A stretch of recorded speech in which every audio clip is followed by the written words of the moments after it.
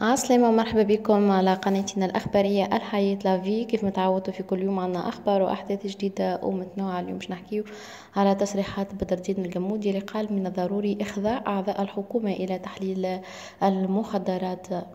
قال النائب البرلماني ورئيس لجنة الإصلاح الإداري ومكافحة الفساد بدر الدين الجمودي أنه بات من الضروري إخضاع أعضاء الحكومة ومساعديهم وشاغري الخطط الوظيفية العليا في الدولة إلى تحليل المخدرات. ووصف الجمودي في تدوينة نشرها على حسابه الرسمي بمواقع الفيسبوك يوم الأربعاء.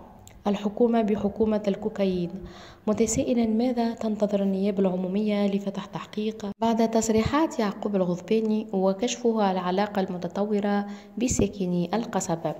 واعتبر أن جريمة مسك وترويج المخدرات باتت محمية سياسيا في تونس مبينا أن القانون يطبق على الفقراء والمسحوقين دون سواهم وكان يعقوب الغضباني الذي هو في حالة فرار ومحل تفتيش في قضية ترويج المخدرات قد نشر فيديو على حسابه بمواقع الفيسبوك يوم الثلاثاء 20 جويلية الجاري يشرح فيه تتبعات قضائية وتهما صادرة في شأنه مؤكدا أن له علاقة مع عديد الشخصيات السياسية وأنه التقى عديد المرات في القصبة مع رئيس الحكومة هشام المشيشي ووزير المالية علي الكعلي ضمن ما اسمه نشاطاته السياسية والاجتماعية التي يقوم بها.